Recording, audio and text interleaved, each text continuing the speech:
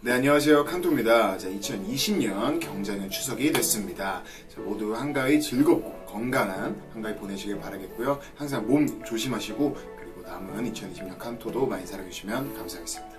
행복하고 건강한 한가위 보내세요. 안녕!